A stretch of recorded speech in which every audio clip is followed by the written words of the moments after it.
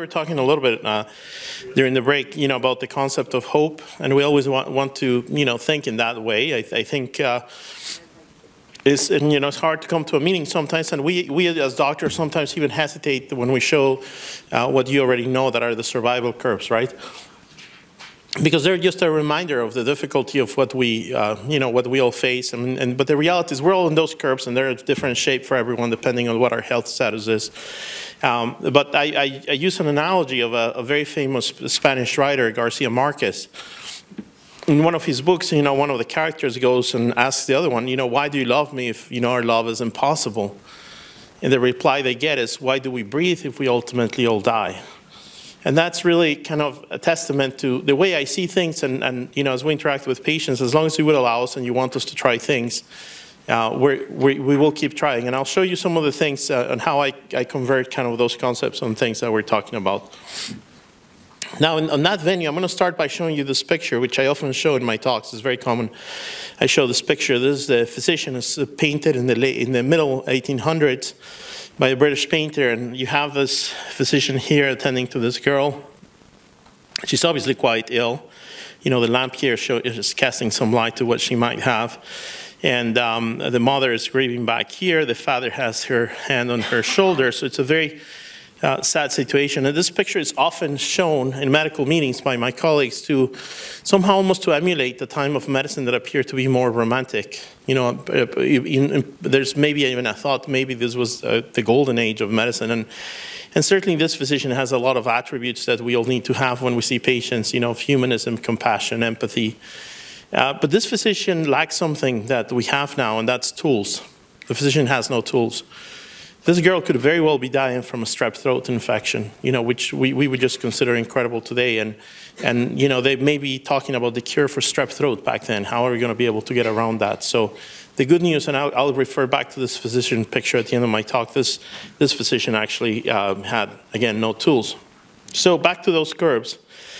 Uh, this is a study we did, and I, I want to show you again, uh, see how we march with the progress. And um, uh, Dr. Kumar has uh, publish other papers. But we did something that's called um, a real world data, and I think you're going to see more and more of this research where we actually uh, look at a cohort of patients, a very large cohort of patients, where we actually got claims from insurance companies. So, you know, insurance companies know every time something is being paid and they have to get the diagnosis right. So, we started actually with 20,000 myeloma patients, which is larger than any myeloma clinical trial ever done. And we kind of whittled down to close to 10,000 patients based on some eligibility criteria that we had to follow up and we had the number of, of time points. And then we actually cross-reference this with the database of the Social Security Administration where everyone, some, someone passes away, you, of, you record that, of course. So then we could calculate times from the time of diagnosis until the time a person was uh, noted in the Social Security Death Administration. And what we, we've learned is that we actually can do the survival curves. And this is what has happened over the last several years 2006, 2007, this is a curve of survival, 8 and 9, and then 10 to 12 is up here. So this is another view of the same data that Dr. Bergsagel was showing you. So, and the, the way I call it, every time the curve goes up, there's hope. That's what we're hoping. Now, what you see here in black and gray are the curves for the general population in that same insurance database. So there's, of course, other diagnoses, other health conditions, but as long as this curve keeps going upwards, that means we're making progress in myeloma.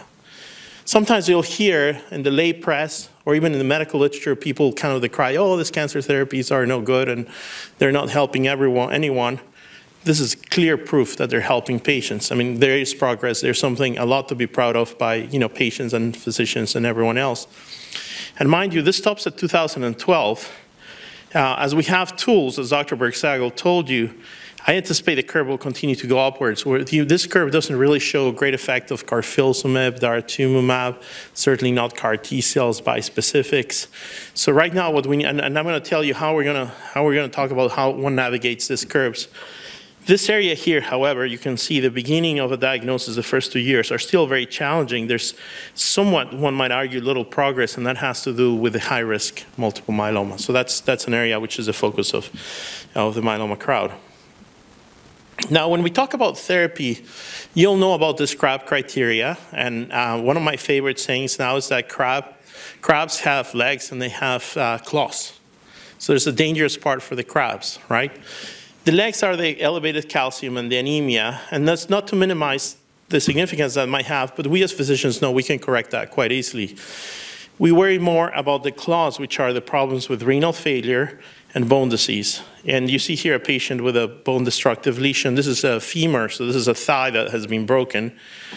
And, um, you know, this person will have to go through surgery, and probably in a femur you can have a very good functional result afterwards, you know, despite obviously who wants to go through surgery.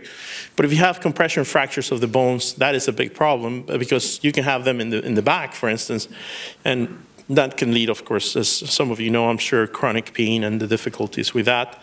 And then the R is for the renal, which is, uh, you know, uh, sometimes we can reverse it, sometimes we can't. So sometimes patients will be, um, uh, have to be connected to a dialysis machine, et cetera. So these are some of the things we're, we're keeping in mind. But I just want to say these are the two things that we have to keep at the very forefront of everything we do uh, for you as we engage in patients. I'm, gonna, I'm sorry, I'm going to go through this quickly because some of this we already covered. So as we, as we think about strategies, I'm going to throw around a couple of concepts of things that we think of, you know, how do we position and how do we think about the best alignment of the drugs. And this is, this is uh, something uh, we are doing um, in general. So, you know, the first time someone needs treatment, we call that induction. And uh, for the patients who are eligible, you do the stem cell transplant. Now, this may change in the future because right now we have this very quick dichotomy, stem cell transplant or not stem cell transplant. Uh, one possibility is that maybe stem cell transplant in the future will go away, that you know, there will be other treatments, whether that's more of the same drugs, whether that's CAR T cells. Um, so that we don't know that, but right now this is kind of a very important decision point, whether someone goes to the stem cell transplant or not. Then we talked about maintenance, and you saw some of that data, and, and the data for maintenance we're going to expand a little bit. Uh, right now, I did mention before that almost all patients are placed on maintenance, uh, you know, with very rare exceptions, mostly with lenalidomide, which is Revlimid, and in some cases we add the proteasome inhibitors. And then we're going to talk about the rescue strategies. But you have so many players and you have so many drugs, and we have at least, you know, um, 12, um, you know, drugs with an infinite number of combinations. Really, it's a very, very large number of combinations that it is a challenge to know how do we position these drugs and you know how do we go about about uh, the the optimal uh, duration of therapy. Now, talking about hope again, if you're a newly diagnosed myeloma patient, and and this number is again it's not a guarantee for anyone, but just to throw some numbers. If one goes through induction, that's about four to six months maybe, and then you go through a transplant that's say another three months until you get to the day 100 we're talking usually about, you know, say eight months, for instance. So eight months until you kind of come out of the transplant and you have your, your, your first assessment at the day 100. And nowadays, the vast majority of patients will do very well. With one of the treatments we use, patients will do very well, and we'll get to that position. And stem cell transplant, uh, even though it's, it's a big deal, should never be minimized. The mortality is less than 1%. So we have the majority of our patients can get up to here. Then you get to maintenance, and in maintenance, what you're going to do is lower the dose of, of a drug, and that's why we use lenalidomide. And I did say that if you take 100 patients, the clinical trials are saying somewhere around 50 months. So, you know, if you add those two numbers, we're talking about five years from the time you get the first treatment until the time one is facing the first intensive next line of treatment. So this is way better than we could do before. And again, that doesn't mean that anyone has assured five years. There's some patients that will need treatment sooner, but then there's other patients that will be post those five years. All it means is that of those 100 patients, 50% of them will have required treatment at that five-year mark. And individually, we, we can't uh, fully predict. Now, I'm going to go back to the stem cell transplant. This is one of the common questions. We got a lot of questions in the, in the, in the first panel. And Dr. Bergsagel was saying what we mostly practice under 65 or under 70, most patients get it. 70 to 75, you know, people who are quite fit and, and active.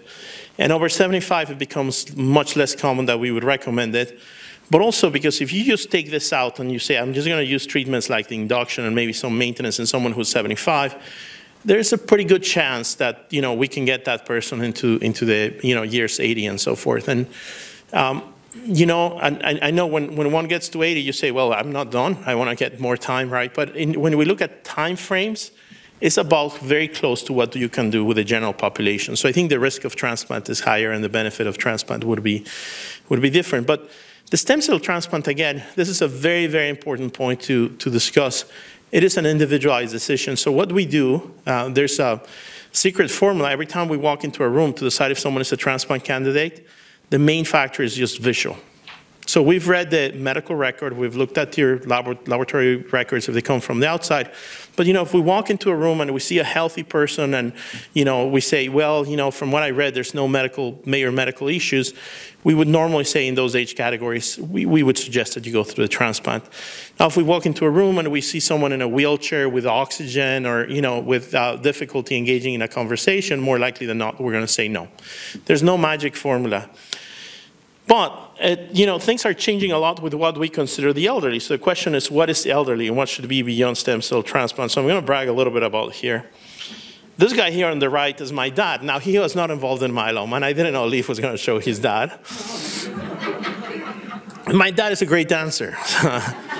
and this is a picture of him dancing at my wedding a couple of years ago. And he led the party. People have told me, you know, you should invite your dad to my wedding, so at least we have a good dance floor. Uh, but the reason I show him, he's 80 right now, and he continues to run. And about five years ago, I tried to run the Chicago Marathon with him. And he told me, son, why don't you go? And then if you need to leave me behind, it's fine. You can just, just go ahead. And little did I know, by mile one, he goes by and says, you're going too slow. I'm going to go ahead and get going. So, so, so what is elderly? And then this is this fellow on the right is Don Wright, and some of you may know Don Wright. Don Wright, also a, a patient uh, with uh, myeloma, who's run many many marathons, and I would suggest is in better shape than most myeloma doctors. So we really take that into account. We don't look chronologically at the age of patients. Uh, we look at their functional status. And there is no question, it's a big deal. But you know, if someone sits in our office and they tell us I'm 72 and I hike every day and I'm running marathons, I would normally say, you know, at least we should talk about the stem cell transplant. Now, what do you get from the stem cell transplant? I gave you some, some general numbers. So Doctors sometimes think that for patients, we're going to give them this numbers. We're going to talk about overall survival. We're going to talk about progression-free survival. But one of the things we've learned is patients like to look at the tail end of everything that happens. So, okay, if I go through this treatment, what is the best case scenario?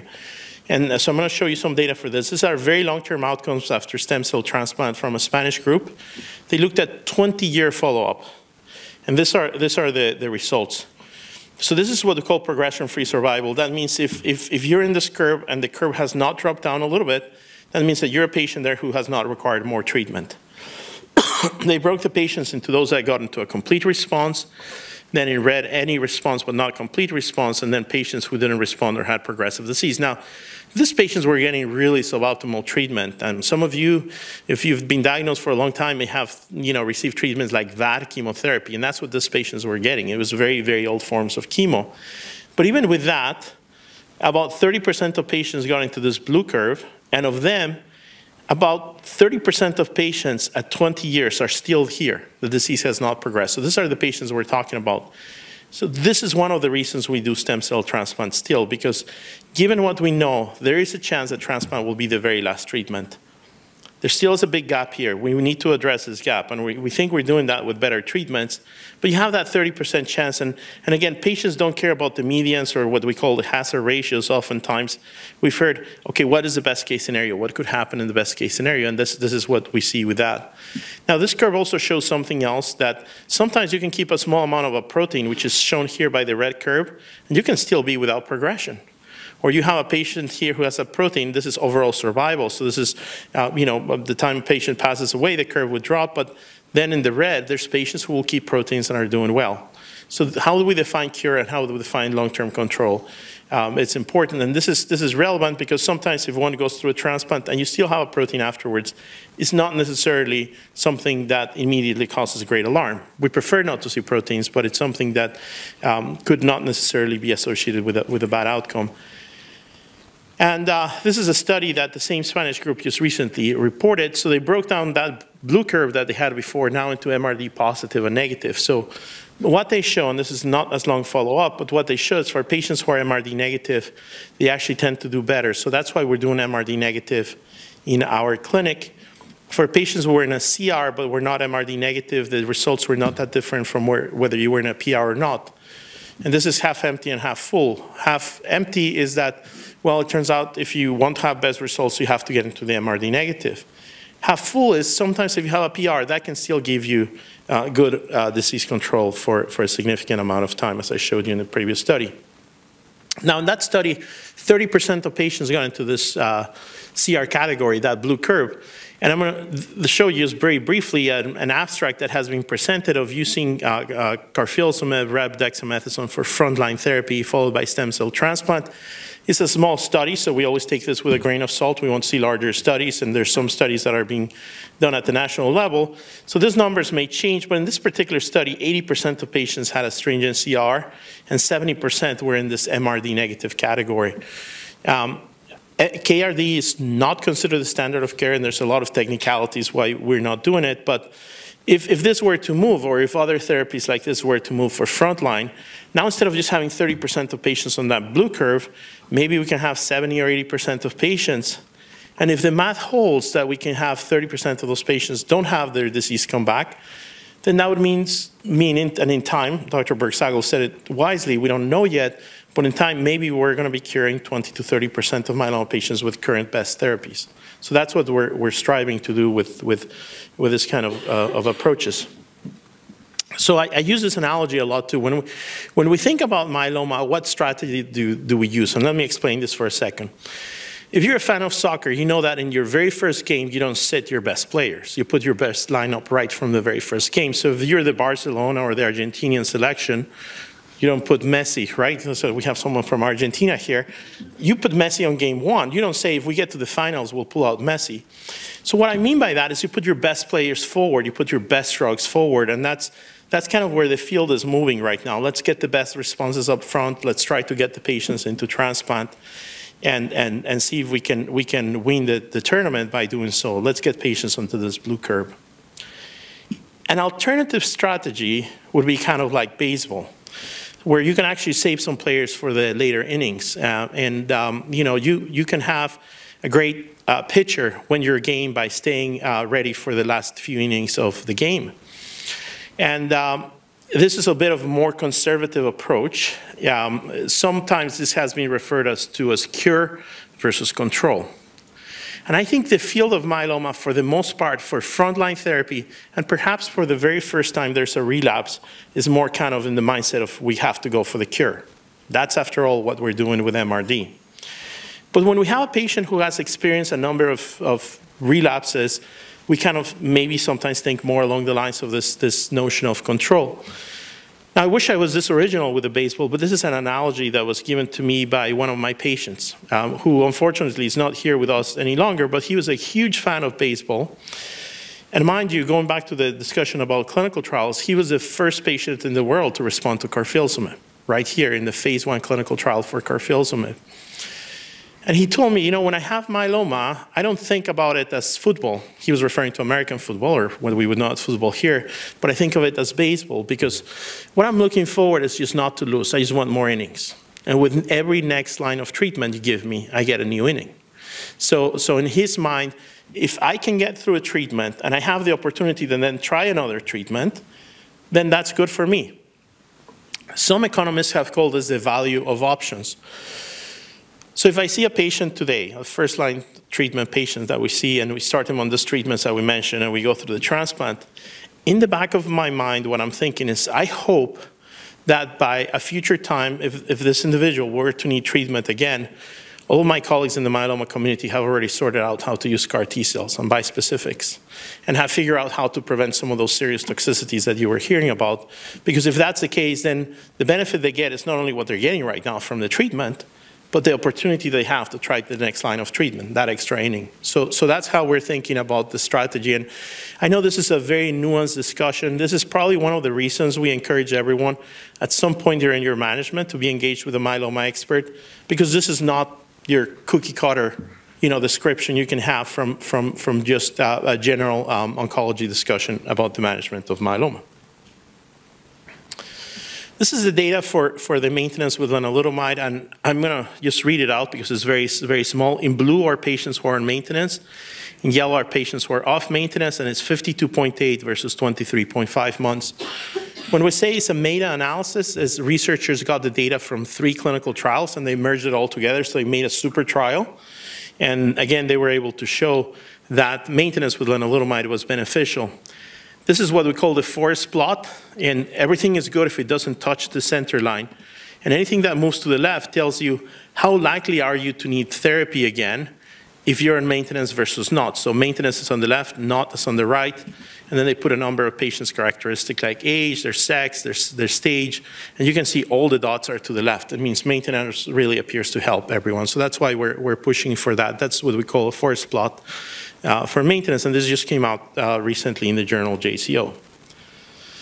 Um, so that's one. Now, one of the concepts that we still are dealing with is that um, is that duration of therapy is important. I think uh, uh, Leif was saying that you know in, in, our mind the ideal cure would be someone who gets treatment for maybe a few months or a few weeks and then you stop. But as of now, in 2017, long-term therapy is important. So a lot of what we do in the clinic sometimes is encouragement for patients to get longer-term therapies. We think about maintenance, for instance. And the reason for that is as follows. If there's cells that are left behind, you want to keep some pressure against those cells. This is a study that was presented by Dr. Palumbo in, in, patients who were on treatment, fixed duration of treatment, which is the orange and the purple, and then they stopped, and you see that the disease starts kind of rearing its head up again, versus if you continue, you can keep it at bay for longer. Um, and so this is, this is something, in, in, again, in 2017 that seems to be relevant, that longer duration of therapy is important. And this is another trial. This is the so-called first trial, which is kind of the same thing. Therapy was stopped for two of the arms. And you can see there's kind of a little inflection here downwards, which you probably wouldn't see if you didn't have a yellow curve. But you see the yellow curve here, it continues. We know this, not, this is not easy, so we know that oftentimes, you know, we, we sit with you and say, how are you doing? How's the fatigue doing? Um, you know, we, we probably wouldn't do a good job if we don't go through that detailed conversation, sometimes encouraging you to, encouraging you to take the medications. It'd be a lot easier to say, yeah, yeah, you're tired, let's stop that, no, you know, come back. But uh, it's kind of that mutual and iterative process that leads us to support some of this longer term therapy. Sometimes we can do that with some uh, medications that are easier to administer. So this tourmaline trial, I've mentioned it briefly, it's this medication called ixazomib. So it's ixazomib, Revdex versus Revdex. This is an. And, you know, they got a high response rate. And the, the, all the markers are, are, are positive for this trial. Dr. Kumar has worked quite a bit with this drug. And initially I thought, well, you know, it doesn't have quite the punch that we're seeing with some of the other drugs, with even the daratumumab. But then on the other hand, if you have a person who can take a pill home, and not be coming for infusion. There's a huge value to that. And I, what I, am learning more and more is that actually there's, uh, there's a propensity, and I can't quantify it right now, for patients being able to stay on longer therapy because it's less intrusive, less needs for a port or a PICC line or another stick if you have bad veins. So those things all come into, come into play as we think about longer duration of, of therapy. Now this is one trial that uh, was published by, by our colleague Keith Stewart. This is the ASPIRE trial. So this is carfilzomib RD versus RD. Uh, these are the difference in, in, in, in uh, uh, number of months the disease is controlled. So it's two years versus 17 months. Uh, this is not bad, but this is obviously better. But if you look at the response rate in this trial, 31% of patients could get into a complete response. Um, so I could say for some patients in a first relapse, the first time you get relapse, this is kind of like soccer again, like football. You're getting 31% very deep responses, and that's good. Um, if you're a patient who has had a transplant again five and seven years ago, we might think about using a regimen like this and put it into a complete response and then move to the transplant again. And that's good. That's more of the football strategy, is when we're, we're facing you know, further down the line treatments that we go more with a baseball approach. Now, this is the, the Pollux trial. I won't belabor this because uh, Dr. Bergsagel showed you this. But when, when all is said and done, it could be that, you know, we're, we're going to be, you know, in, in, a time frame of somewhere between two and four years, it could be that this is going to control the disease. And we have to work, wait for the data to mature.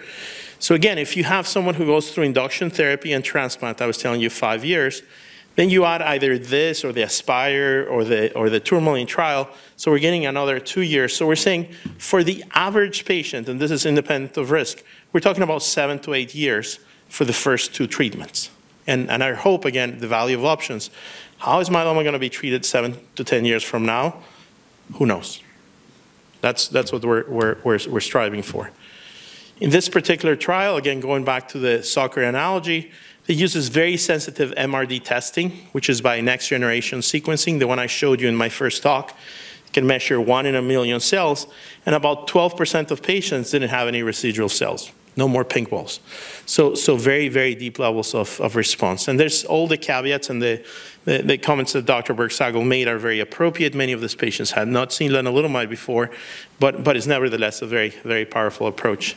So I'm going to finish with this. I want to finish with a note of, uh, you know, supporting innovation and progress and hope when that physician picture was was shown uh, was was uh, was made, I'm sorry, um, the first myeloma patient was published in the literature. And this is before we had this privacy law. So there, she, you know, here she is. Um, they got an illustrator to draw her case, and you can see the, the real severe affliction that she had, which fortunately we don't see anything like that. Her name was Sarah Newbury, and uh, Sarah Newbury's prognosis was dismal. There were no treatments. There were no tools. It was the same time you could die from a strep throat, and she might as well have been born in, you know, in ancient Greece. And this is kind of the grandkid of one of my patients who allows me to use this slide, who's been many years out from a stem cell transplant and, you know, remains in excellent disease control from, from his disease. So we always uh, think about the way we live it here at Mayo, and we have that everywhere, even in the back part of the room, that, that the best interest of the patient is the only interest to be considered. And that's, that's what we're committed for. And I think with that, I'm going to close, and then thank you for your attention. We're going to move to the, to the panel. But I want to leave you with a little, like, um, you know, little humor.